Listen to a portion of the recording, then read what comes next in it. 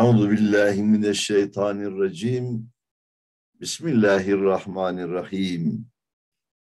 Elhamdülillahi rabbil alamin. Ve salatu ve selam ala Resulina Muhammedin ve ala alihi ve sahbihi ecmain. 32. sözün 3. mevkıfının baş taraflarında dün akşamki dersimizde ve zaman Hazretleri Cenab-ı Hakk'ın bin bir esma hüsnası yaratmış olduğu mahlukat üzerine tecelli ediyor, yansıyor. İman gözüyle bakan insanlar Cenab-ı Hakk'ın yarattığı mahlukat üzerinde sırf maddi cephesinde Allah'ın birçok esma hüsnasının varlığını görebilir diyerek örnekler verdi. Evvela bir sanatkar, bir heykel tıraş, bir çiçek resmi ya da bir kadın heykeli yapmak istediği zaman evvela hudutlarını çizer diyerek başladı. Anlatı anlatı sonunda Cenab-ı Hakk'a getirdi meseleyi. Cenab-ı Hak da insanları, hayvanları, ağaçları, bitkileri, çiçekleri neyi yaratacaksa onların hudutlarını çiziyor, zeynetlendiriyor, güzelleştiriyor, mükemmelleştiriyor. Bu arada kendi esma hüsnasını da o yarattığı mahlukat üzerinde hem kendisi görüyor hem insan, melek ve cin dediğimiz şuurlu mahlukatı da gösteriyor. Şimdi biz kaldığımız yerden devam edelim. Tekrar oraya dönmüş olmayalım. Demek Sani Zülcelal'in yani o celal sahibi sanatkar Cenab-ı Hakk'ın ve Hakim Zülcemal'in ve Kadir Zülkemal'in Cenab-ı Hakk'ın isimleri bunlar. Zatındaki Allahü Teala kendi zatındaki cemali zati zatındaki sonsuz güzellik ve kemalat-ı zatiyesi yine zatındaki sonsuz mükemmellik terahüm ve tahannün ister. Yani acımak, şefkat etmek, merhamet etmek ister anlamında. Ve Rahman ve Hannan isimlerini tecelliye sevk eder. Terahüm ve tahannün ise acımak, şefkat etmek manaları ise rahmet ve nimeti göstermekle rahim ve münim yani çok acıyan, çok nimetlendiren isimlerini cilveye sevk eder. Rahmet ve nimet ise teveddüt ve taarruf yani e, kendini tanıttırmak, sevdirmek şeenlerini, hallerini iktiza edip Vedut ve Maruf isimlerini tecelliye sevk eder. Masnu'un yarattığı sanatlı varlığın bir perdesinde onları gösterir. Teveddüt ve tarif yani kendini sevdirmek, tanıttırmak isteği ise lütuf ve kerem manalarını tahrik eder.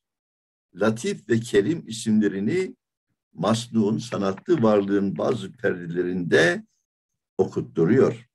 Bak hep okuduğumuz bu satırlarda, paragraflarda Cenab-ı Hakk'ın muhtelif esma hüsnasının nasıl yarattığı mahlukat üstüne tecelli ettiğinin örneklerini vermiş oluyor. Lütuf ve kerem şenleri, halleri ise tezyin ve tenvir süslemek, aydınlatmak fiillerini tahrik eder. Müzeyyin ve münevvir Allah'ın her şeyi zinetlendiren, süslendiren, tenvir eden, aydınlatan anlamına gelen isimlerini masnuun, yarattığı sanatlı varlığın hüsün ve nuraniyeti lisanı ile okutturur. Ve o tezin ve tahsin şenleri halleri ise sun ve inayet manalarını iktiza eder ve sani, sanatkar ve muhsin yarattığına ihsanlarda bulunan isimlerini o masnuğun, o sanatlı varlığın güzel simasıyla okutturur. Ve o sun ve inayet ise bir ilim ve hikmeti iktiza eder ve ismi Alim ve Hakemi Allah'ın en bilinen isimlerinden Alim, ilmiyle her şeyi kuşatan bilen ve Hakim, her yarattığında nihayetsiz maksat ve faydalar gözeten isimlerini o masnun intizamlı, hikmetli azasıyla okutturur. Ve o ilim ve hikmet ise tanzim, tasvir, teşkil fiillerini iktiza ediyor. Yani intizamlı yapmak, ona güzel suret vermek, güzelce şekillendirmek fiillerini gerektiriyor. Ve onlar da ister istemez Allah'ın musavvir ve mukaddir. Yani her şey layık bir suret açan ve yarattığı mahlukatı böyle matematiksel, geometrik şekillerle takdir eden anlamına gelen isimlerini Maslu'un o sanatlı varlığın heyetiyle, şekliyle okutturur, gösterir. İşte Sani Zülcelal, o celal sahibi sanatkar Allahu Teala, bütün masnuatını, sanatlı yarattığı varlıkları öyle bir tarzda yapmış ki ekserisi hususen zihayat canlılar kısmı çok esma-i ilahi okutturur. Göya her bir masnuğuna sanatlı varlığa ayrı ayrı birbiri üstünde 20 gömlek giydirmiş. 20 perdeye sarmış. Her gömlekte, her perdede ayrı ayrı esmasını, farklı farklı isimlerini yazmış. Mesela temsilde gösterildiği gibi tek güzel bir çiçekle insanın kısmı sanisinden, ikinci kısmından bir ferdi hasnanın, güzel bir bayanın yalnız zahiri hilikatlerinde, yaratılışlarında çok sayfeler vardır. Başka büyük ve külli masnuatı o iki cüz'i misale kıyas et. Şimdi bu tek güzel bir çiçek derken hatırıma bizim evdeki bir kaktüs çiçeği geldi. Allah Allah yani önce bir tomurcuklandı. O kaktüs iğneli mineli bir çiçek enteresan. Yani ondan öyle bir çiçek hiç beklenmezdi gerçekten. Önce tomurcuklandı, sonra büyüdü, sonra gelişti, sonra açıldı. Kırmızı kırmızı çiçekler. Ortasında tohumların bulunduğu kısım. Ya hanımdan birbirimize gösterip ya Allah Allah, barekallah. Allah ne güzel yaratmış. Bundan böyle bir çiçek nasıl çıkar? Allah dilerse işte bundan da böyle harika çiçekler yaratır diyerek birbirimize göstermek suretiyle hayretimizi, hayranlığımızı birbirimize ifade ettik. İşte çiçek de öyle yaratılmış bir erkek veya kadın fark etmez. Onların üzerinde Allah bin bir esma hüsnasının muhtelif isimlerini ayrı ayrı gösteriyor. Mesela birinci sayfa, ilk gözüken birinci sayfada umumi şekil ve miktarını gösteren heyettir ki ya musavvir, ya mukaddir, ya munazzım isimlerini yad eder.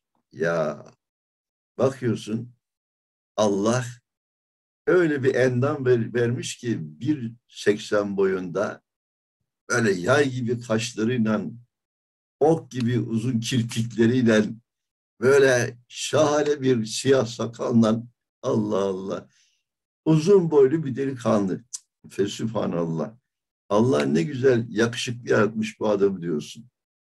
Yani erkekten misal vereyim bari yani. Hem de boyuyla bosuyla orantılı bir kafa, kol, gövde, bacakları veriyor.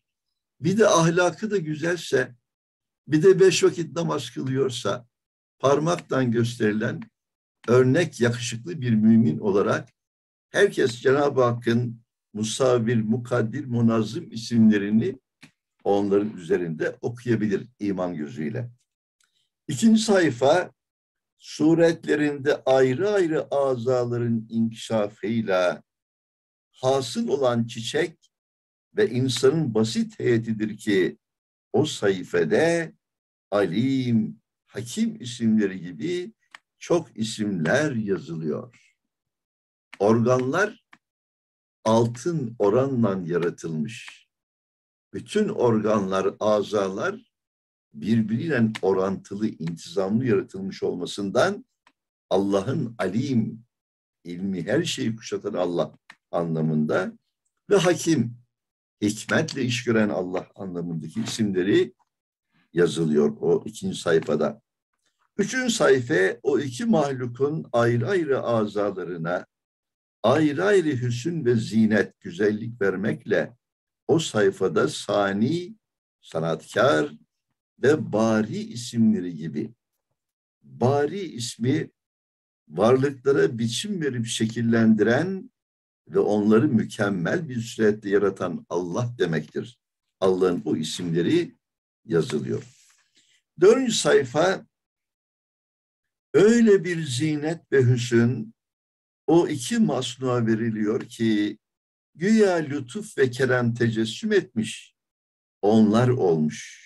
O sayfa Latif, Ya Latif, Ya Kerim gibi çok isimleri yad eder, okur. Ya benim bir torunum var. Üç dolu torun. Ya sarı saçları erkek delikanlı bu tabii. Şu anda 8-9 e, yaşlarında. Ondan sonra öyle gözleri var ki böyle yemyeşil. Allah Allah. Alman çocuklarına benziyor. Kızımdan bir torun o. Onun küçükken böyle bebekken bir e, hastanede çalışan bir kız çocuğu dedi ki ya bu ileride çok canlar yakar. Aklıma o geldi şimdi. Ama o ahlaklı, edepli, terbiyeli, namuzu yetiştirdi elhamdülillah. Bakmaya kıyamazsınız. Öyle bir güzellik vermiş Allah. Onun bir küçüğü var, o da bir başka güzel. Allah Allah. Yani Cenab-ı Hak e, bilhassa bu çocukluk, bebeklik yaşları, e, biraz çocukluk yaşlarında hiçbir günahları olmadığı için melek gibi öyle bir masumiyetleri var ki ya Allah ne güzel yaratmış gözüyle insan bakıyor. Maşallah subhanallah Allah hayırlı ömürler versin. Ahlaklı faziletli insanlar İslamiyete hizmetkar fedailer yapsın bunları diye insan dua ediyor tabi haliyle. Böylece torunumun da güzel bir delikanlı olacağını şimdiden söylemiş oldum yani. Büyüyünce müşteri aramaya çıkacağız ondan sonra. Döngü sayfa öyle bir evet o çiçeğe leziz beybeler o hasnaya, hasnaya o güzel kadına sevimli evlatlar güzel ahlaklar takmakla o sayfa ya Vedud, Ya Rahim, Ya Mün'im gibi isimleri okutturuyor. Altıncı sayfa o inam ve ihsan sayfasında nimetlendirmek, ihsan etmek sayfasında Ya Rahman, Ya Hannan gibi isimler okunuyor. Yedinci sayfa o nimetlerde, o neticelerde öyle lemaat-ı hüsün ve cemal, güzellik parıltıları görünüyor ki hakiki bir şevk ve şefkatle yorulmuş halis bir şükür ve safi bir muhabbete layık olur. O sayfede ya Cemil Zülce, Zülkemal ya Kamil Zülcemal isimleri yazılı okunuyor. İşte yalnız bir güzel çiçek ve hasta bir insan, güzel bir bayan ve yalnız maddi ve zahir suretinde bu kadar esmayı Allah'ın isimlerini gösterirse acaba umum çiçekler ve bütün zihayat canlılar dünyası ve büyük ve külli mevcudat ne derece ulvi ve külli esmayı Allah'ın isimlerini okutturuyor, kıyas edebilirsin.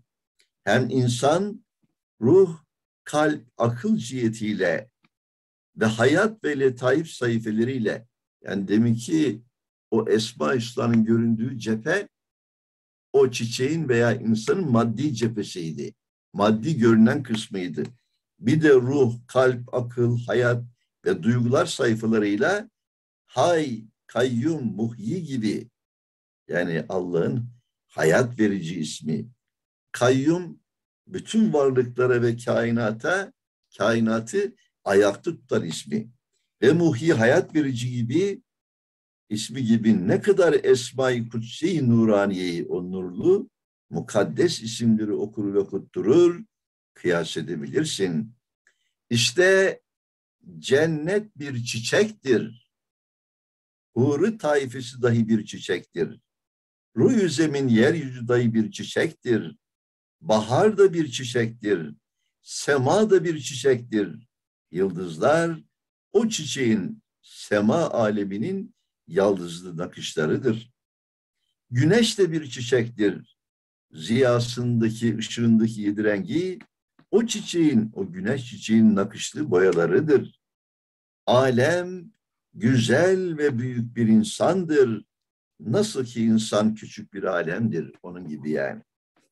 Huriler nev'i ve ruhanler cemaati ve melek cinsi ve cin taifesi ve insan nev'i birer güzel şahıs hükmünde tasvir ve tanzim ve icat edilmiştir. Hem her biri külliyetiyle hem her bir ferdi tek başıyla sani yüzül cemalinin o nihayetsiz güzellik sahibi olan sanatkar Cenab-ı Hakk'ın esmasını, o bin bir isimlerini, bin bir güzel isimlerini gösterdikleri gibi cennet, bahar, insan her şey gösterdiği gibi onun cemaline, kemaline, rahmetine ve muhabbetine birer ayrı ayrı aynelerdir, aynalar hükmündedir. Ve nihayetsiz cemal ve kemaline ve rahmet ve muhabbetine birer şahidi sadık her bir yaratılmış alemler ve varlıklar doğru birer şahittir Cenab-ı Hakk'ın zatındaki sonsuz güzellik ve mükemmelliğe ve rahmet ve muhabbeti şahitlermiş. Demek o daire haricinde tevehüm olunan kemalat, kemalat değildir. Allah ile bağı kurulmadan ne varsa mükemmel gibi o mükemmel değildir. Yani almadı mükemmel bir profesör, almadı ağzı laf yapıyor diyoruz ama adam diyor ki her şey tabiat, tesadüf kendi kendine oluyor, bitiyor. Allah'ın ne, ne alakası var bu mahlukatın, varlıkların dediği zaman o profesör beş para değeri olmayan bir varlık haline geliyor. Ama hem profesör hem imanlı hem de amel sahibi olunca o zaman mükemmel oluyor işte. Yoksa profesörlüğü bile beş para etmiyor imansız adam. İşte hakaik eşyanın Allah'ın yarattığı bütün varlıkların hakikatlerinin esma-i ilahiyeye Allah'ın güzel isimlerine dayandığını ve istinad ettiğini belki hakiki hakaik hakiki hakikatler o esmanın cilveleri olduğunu ve her şeyin çok cihetlerle, çok dillerle saniyini, sanatkarını zikir ve tesbih ettiğini anlar. Ve in min şey illa ise bihamdinin bir manasını bil. Yani bu dersimizin üçüncü mevkıfın en başında üstadımızın iktibas ettiği ayet buydu. Ne, nedir o? İsra suresinin 44. ayet kelimesinin bir parçası burası. Hiçbir şey yoktur ki onu yani Allah'ı övüp onu tesbih etmiş olmasın anlamındaymış. İşte bu izahlardan sonra bu ayetin ne demek istediğini bil. Ve sübhan sübhane men ihtefa bir şiddeti zuhur de. Ya şiddeti zuhurundan gizlenmiş olan Allah her türlü noksandan münezzehtir.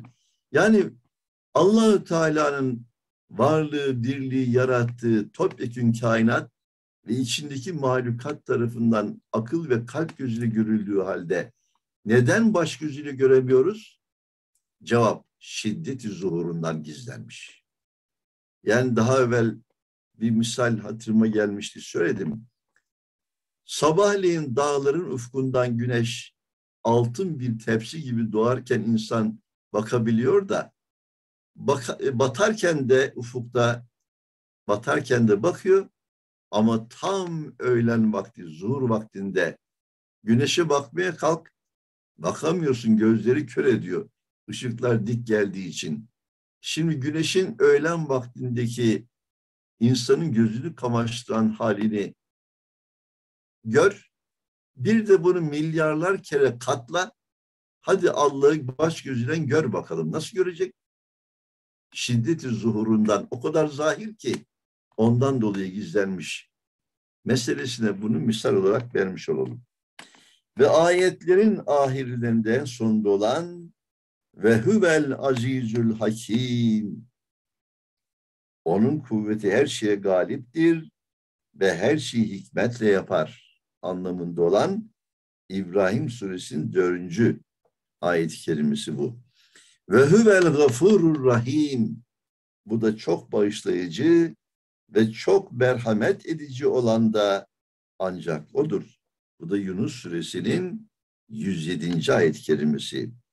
Ve huvel alimül kadir. O her şeyi hakkıyla bilir. O her şeye hakkıyla kadirdir. Kudreti her şeye yeter.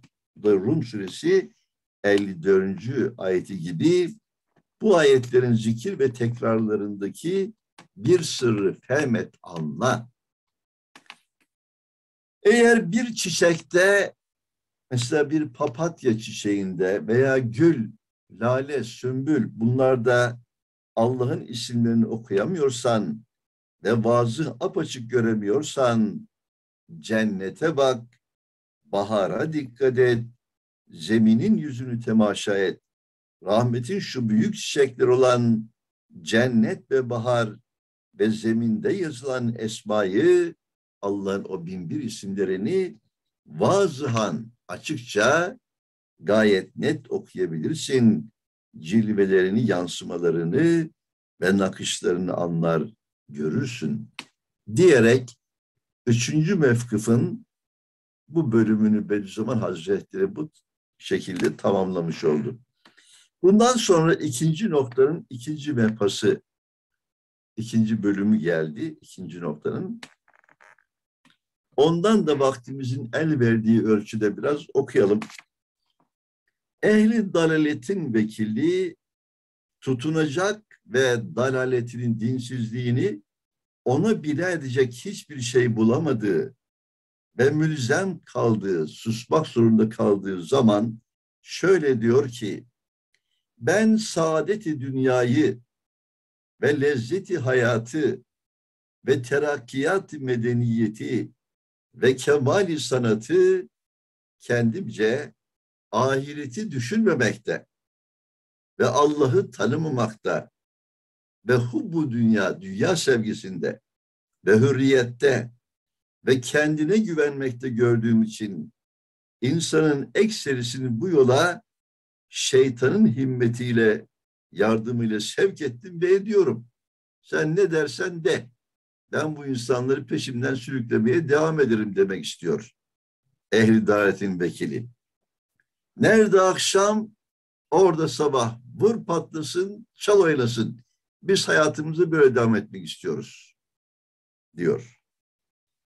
El cevap biz dahi Kur'an namına diyoruz ki ey biçare insan aklını başına al ehli dalaletin vekilini dinleme. Eğer onu dinlersen hasaretin, zarar ve ziyan o kadar büyük olur ki tasavvurundan ruh, akıl ve kalp ürperir. Senin önünde iki yol var. Birisi ehli davetin vekilinin gösterdiği şekavetli, sıkıntılı, perişan ve nihayeti cehenneme ulaşan bir yol. Diğeri Kur'an hakimin tarif ettiği saadetli yoldur. İşte o iki yolun pek çok muvazenelerini, kıyaslamalarını çok sözlerde, hususen küçük sözlerde gördün ve anladın. Şimdi bakan münasebetiyle binde bir muvazenelerini kıyaslamalarını yine gör, anla. Şöyle ki, şirk ve dalaletin ve fısk ve sefaatin günah yolu, günah yolu insanın nihayet derecede sukut ettiriyor insanlıktan, dışarı çıkarıyor, düşürüyor. Hadsiz elemler içinde nihayetsiz ağır bir yükü zayıf ve aciz beline yükletir. Çünkü insan Cenab-ı Hakk'ı tanımazsa ve ona tevekkül etmezse o vakit insan gayet derecede aciz ve zayıf, nihayet derecede muhtaç fakir, hadsiz musibetlere maruz elemli, kederli bir fani hayvan hükmünde olup bütün sevdiği ve alaka peyda ettiği bütün eşyadan mütemadiyen devamlı firak elemini, ayrılık elemini çeke çeke nihayette baki kalan bütün ahbabını, dostlarını, sevdiklerini bir firak elim, elem verici bir hayrılık, ayrılık içinde bırakıp kabrin zulümatına, karanlığına yalnız olarak gider. Hem müddeti hayatında gayet cüz'i bir ihtiyar ve küçük bir iktidar ve kısacık bir hayat ve az bir ömür ve sönük bir fikriyle nihayetsiz elemler ile ve emeller ile faydasız çarpışır ve hadsiz arzuların ve makasıdın, maksatların tahsiline semeresiz, neticesiz, boşu boşuna çalışır. Hem kendi vücudunu yükleyemediği halde koca dünya yükünü bir çare beline ve kafasına yüklenir. Daha cehenneme gitmeden cehennem azabını çeker. Evet, şu elin elemi ve dehşetli manevi azabı hissetmemek için ehli dalalet, din dışı hayat yaşayanlar, iptali his devinden gaflet sarhoşluğuyla muvakkaten hissetmez. Yani tiyatro, sinema, içki, kumar, fuhuş, şu bu filan o yolda duygularını söndürür ve öldürür ta ki bu acıları, elemleri hissetmemek için. Fakat hissedeceği zaman yani kabri yakın olduğu vakit birden hisseder. Çünkü Cenab-ı Hakk'a hakiki abd kul olmazsa kendi kendine malik zannedecek. Halbuki o cüz'i ihtiyar, küçücük irade, o küçük iktidarı ile şu fırtınalı dünyada vücudunu idare edemiyor. Hayatına muzır, zarar veren mikroptan tut, ta zelzeleye kadar binler taife düşmanları hayatına karşı tehacüm yani hücum vaziyetinde görür. Elim bir korku dehşeti içinde her vakit kendine müthiş görünen kabir kapısına bakıyor. Hem bu vaziyetteyken insaniyet itibariyle, nevi insaniyle ve dünya ile alakadar olduğu halde dünyayı ve insanı bir hakim, alim, kadir, rahim, kerim bir zatın tasarrufunda tasavvur etmediği ve onları tesadüf ve tabiat havale ettiği için dünyanın ehvali, korkuları ve insanın ahvali onu daima izac eder, perişan eder. Kendi elemiyle beraber insanların elemini de çeker.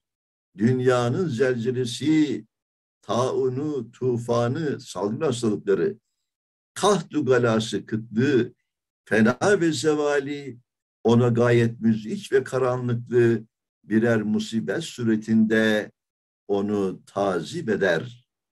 Diyelim onların bu perişan hallerinin devamında daha neler oluyormuş onu da yarın akşam birlikte ve düz zamandan dinlemeye devam edelim inşallah.